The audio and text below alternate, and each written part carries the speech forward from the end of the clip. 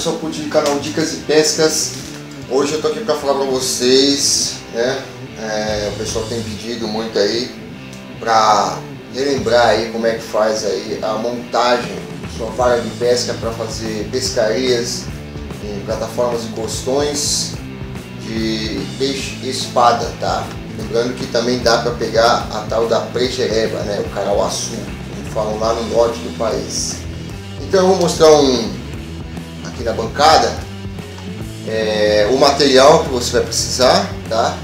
E também a montagem completa, tá? Desde boias, nós, tudo mais, ok? Então, vamos partir para a bancada aí para a gente poder ver como é que faz essa montagem. Vamos lá. Primeiro de tudo, você vai começar com uma vara, tá? Vara da Versus, da Marine Sport, TS4. Essa tem 3,90 metros, tá? É uma vara telescópica. Eu gosto mais de usar essa vara telescópica.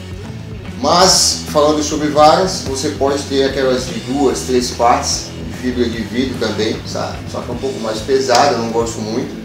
Em compensação, ela tem ação mais rápida, tá? Já a caso da Versus, não, a ação é um pouco mais lenta, para pescar espadas é um pouco mais, é, não vou dizer complicado, mas não é o ideal, por causa da estrutura óssea da cabeça da, da, da espada e da boca, né? Então é um pouco mais complicado para ferrar. No entanto, eu nunca tive problema de perca de peixe, tá? Então, eu não vejo problema nenhum, tá? É só para ela é mais leve, fica um conjunto mais legalzinho de trabalhar, ok? Fica bem mais esportivo também no caso, né? Que você briga bem com o peixe, tá? Então, essa vai ser a vara que eu vou montar para vocês. E outra por causa do espaço aqui também ficou bem melhor, tá? Atentando também como é uma pescaria de plataforma, você pode usar ela na hora, se não estiver batendo espada, você pode desmontar e fazer a, a modificação para pescaria de fundo e praia, tá? Então quer dizer, você não, tem, não vai perder em nada levando apenas o material, ok? Tá, passamos saída da vara. A segunda coisa que você tem que escolher é o seu molinete, tá? Eu uso um, esse aqui é até meio bruto, você pode usar até um outro, mas é, eu gosto de usar o grande tá? principalmente esse aqui, o Júpiter 6000, que me dá maior confiabilidade. Tá? Ele está munido aqui com uma, uma linha de 0,52 da linha Camon Line. Também gosto muito, porque ela tem pouca memória. Tá? É, já fica também para pescaria de prejereba, que é um animal muito mais bruto que a espada. ok? É, um molinete muito bom. Tá? Vai precisar também de boias ou os modelos de isopor, tá? É, cores, por exemplo, essa daqui você pode usar por dia, né? Com mais essa daqui também para tarde e uma mais colorida para a noite. Ou vocês podem optar por aquelas boias luminosas, tá? Se acaso você não tiver, eu mostrei no, no canal um vídeo falando sobre, sobre essa daqui, tá? Que é uma boia de garrafa PET, tá? Que eu fiz, confeccionei e dentro dela eu vou colocar um cialume, tá? Depois eu vou fazer um outro vídeo sobre essa boia que eu descobri com um amigo aí, um outro jeito de fazer que fica legal também, tá?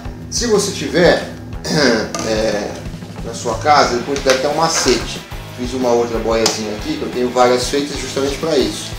É, eu tirei uma aquela chupeta de brinquedo lá que o pessoal faz. Isso aqui, ó Aí fica parecendo até aqueles pisca-piscas de que o pessoal faz é, para colocar no fundo da água lá para a espada em vez do cialume, né? Vai ter que ficar trocando cialume toda hora. Aí vai ficar piscando assim, ó. A tua boia lá. Vai saber que é a sua. Tá? É tudo tática, tá gente? Isso aqui é para noite, mais para noite, tá? Bom, é, falei da vara, falei da boia, falei até do cialume antes da hora, né? É, mas já está feito. Vai precisar de elástico, que por sinal o meu já está acabando aqui, né? Já acabou, né? No final aqui, mas é só um exemplo. É, para poder enrolar a sardinha, que vai ser sua isca. Né? É, uma linha mais fina, aquela 0,40, 0,35, tá? Para poder fazer o nó de correr. Ou se você quiser, você usa aqueles onde vende aquelas borrachinhas facilitam você de não precisar fazer nó de correr. Eu, como estou acostumado, eu faço nó de correr.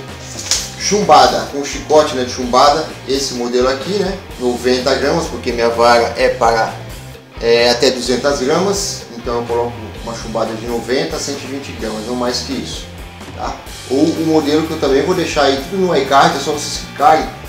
É, tudo, é, já, os outros vídeos falando sobre como fazer um chicote, né, que eu também não gosto muito desse aqui não. Mas eu vou usar esse aqui que os meus acabaram, tá? Para fazer o exemplo para vocês. E o, encasto, o encastoado em aço, né? Com anzol, não garateia, tá gente? Garateia é proibido, mas o anzol você pode usar, tá? Coloca um, coloca dois, no máximo, tá bom?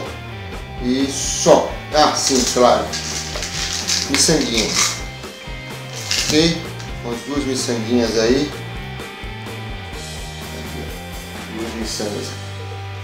Para confecção do, do chicote. Então, vamos começar. Com o molinete fixado, você vai passar as linhas pelos passadores. Passei a linha pelos passadores, tá? Então vou deixar um pouco o molinete de lado e vamos começar a montar o chicote. A linha está bem aqui, tá? Certo? Eu vou fazer o que? Vou fazer o nó de correr, que nem eu falei para vocês. Então eu vou pegar a minha linha é, 0,35, 0,37, 40, aqui for, a mais fina com o meu cortador de unha, tá? Aqui, vou cortar um pedaço dessa linha, tirar um pedaço dessa linha. Lembrar que se não estiver dando para ver, tá gente, como é que faz esse nó de correr, eu já tenho no canal, vou deixar, lembrando novamente, que eu vou deixar no, no, no iCard aí, tá?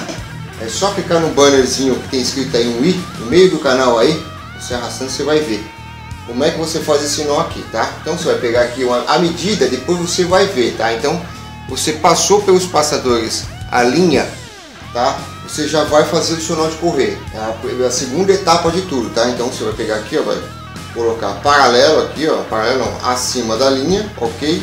coloca uma ponta para cá, a outra sobre ela, certo? Fez isso aqui, ó, vai formar um elo, tá?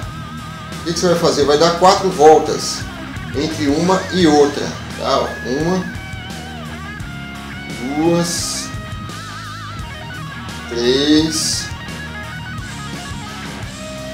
quatro. Se quiser dar cinco voltas, também pode dar sem problema nenhum. Eu faço com quatro voltas começar a afrouxar eu pego, tiro, faço uma nova. Ó, fiz quatro voltas e começo a puxar, tá? Só isso. Ó, começa a puxar aqui até o final. Aí eu junto, ajusto aqui, aqui. Tá feito nós correr, tá bem apertado, né? quiser confirmar, você pega, põe no dente, puxa aqui, ó, prende de um lado e não pode ficar tão apertado porque senão você não consegue correr com ele. Eu não corto muito longe, tá gente? Eu deixo sempre um tanto, ó, que é para ajudar também na miçanga, ok? Pronto. Fiz o nó de correr e agora eu vou colocar a miçanga. Já vou colocar a miçanga no lugar. Então o que aconteceu? Eu fiz o nó de correr e a miçanga vai parar bem aqui, tá? Feito isso, qual é a próxima etapa? É escolher a boia. Então você vai decidir entre a boia de isopor ou a boia luminosa para o horário que dá a ocasião que você vai utilizar fazer a pescaria, tá? Então eu vou colocar aqui é, a boia de isopor, tá? Vou usar a boia de isopor para vocês terem mais ou menos uma noção do que eu estou falando, tá? Mas vocês na hora, se vocês quiserem mudar para garrafinha, também pode. Outra coisa que eu quero falar, se você quiser usar sua garrafinha para o dia, também pode, tá gente? É o seguinte, você compra aquela tinta é, de tecido e pinta a sua garrafa, porque de dia é difícil visualizar ela na água, entendeu? E às vezes a pessoa que está usando a boia lá na, pescaria acha que é lixo passando e joga por cima, não, acha que não vai ter uma linha por baixo. Então é legal você dar uma pintada. De noite é só, em vez de você sacar ela aqui, ó, é, ah, vou ter que desmontar tudo. Não, você desrosqueia ela, pega a transparente, ó, desrosqueia aqui, eu pego a transparente aqui, ó, tá? E põe no lugar. Aí eu ligo o cialume, vai iluminar de todo jeito, entendeu? Não vai ter problema nenhum. Tá? Eu pego, deixo uma transparente e uma pintada. De dia eu uso a pintada. De noite eu pego e coloco com cialume ou com esse sistema que eu, que eu bolei aqui tá? Eu vou colocar aqui de isopor, tá? É, a parte mais grossa fica é, aqui, né? E a parte mais fina onde você vai acabar de terminar o chicote. Vamos colocar.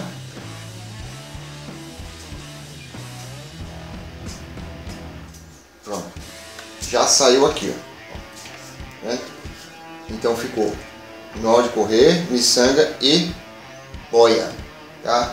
É, o isopor vai batendo é, na parte do chicote que eu vou mostrar para vocês e começa a danificar aqui ou até mesmo começa até a dar problema no, no girador lá da boinha, tá? Então eu coloco uma miçanga a mais para defender o nó e defender também o material. Então eu coloco mais uma aqui, tá? Agora no final aqui, né, a gente vai colocar aquele chicote com a chumbada, certo? Então aqui, onde vai o girador, né, você vai colocar o chicote. Eu ligo mais o chicote aqui. Aí aqui eu dou uma volta, dou mais uma volta, gente nesse nó aqui, para ficar bem seguro, ok? Aí eu puxo, junto ele lá, né? Dou de 4 a 5 voltas para ficar firme.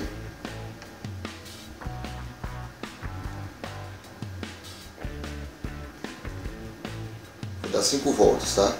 5 voltas, ok? Passo no olhal. Esse nó também tem no canal ensinando, é só procurar lá, gente. Tem, tem playlist de como você faz nó, nó de pesca, tá? Esse aqui é o enforcado, eu vou jogar para dentro de novo, ok? Vou segurar a ponta dele, vou ajustar aqui, vou molhar e vou esticar. Ó. E tá feito o nó. Esse aqui eu garanto para você que não escapa. Não preciso cortar muito longe, tá? Ó, tá ótimo esse tanto aqui. Se vier a correr, que eu acho meio difícil, não vai estourar, tá bom?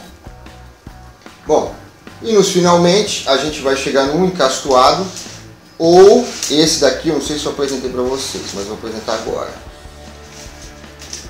Esse também eu já mostrei no canal, tá? É um tipo de chicote que você não precisa colocar por dentro da sardinha. E a isca que a gente vai usar, natural, é a sardinha, tá? Você passa envolvendo, vou pegar aqui um, por exemplo, isso aqui é uma sardinha, tá? Não é, claro. Você vai pegar aqui, ó, vai cruzar pelo olho, vai trançar pelo olho, né? façamos de conta que passou pelo olho, eu estico até o girador, ok? Dou a volta nela aqui assim e prendo no rabo. O anzol vai ficar transferido para fora do rabo, tá? É, você pode usar esse tipo de chicote, tá? Mas é, o que a gente usa muito lá é esse aqui encastoadozinho que você solta e troca, coloca uma ou duas é, ou dois anzóis, tá? Então aqui já está colocado, eu só vou engatar aqui, fechar o, chicote, tá? Lembrando que a chumbada eu já falei que eu, eu tenho um que eu faço um outro chicote que eu acho até um pouco melhor que esse, tá? Então tá montado, chicote encastoado e aqui logicamente já vai estar com a a sardinha atada, ok? Então, daí você já fez o seu chicote para espada. Fácil, né, galera? Agora é só montar e pescar aí nas plataformas aí da sua cidade, né? Ou aqui mesmo em São Vicente, ou aqui na de Santos. Aí cada um faz sua escolha, os postões também, né? Então vamos nessa daí, tá? É... Bom, quem gostou do, do, do vídeo aí, dá um like para ajudar o canal, tá? Compartilha, que ajuda bastante também outros pescadores aprenderem aí, tá? É, se inscrevam também no canal, quem não é inscrito, né, convido você a se inscrever no canal para ver os outros mais de 200 vídeos que temos aqui no canal, tá? É, siga no Instagram, tá? Baixe o nosso aplicativo, está aparecendo aqui no, na sua tela para você aí, para você levar aí dicas de pescas para qualquer lugar aí, para tirar dúvida no barco, no canal, na praia, qualquer lugar. É isso aí, gente. Um abraço. Tchau, tchau.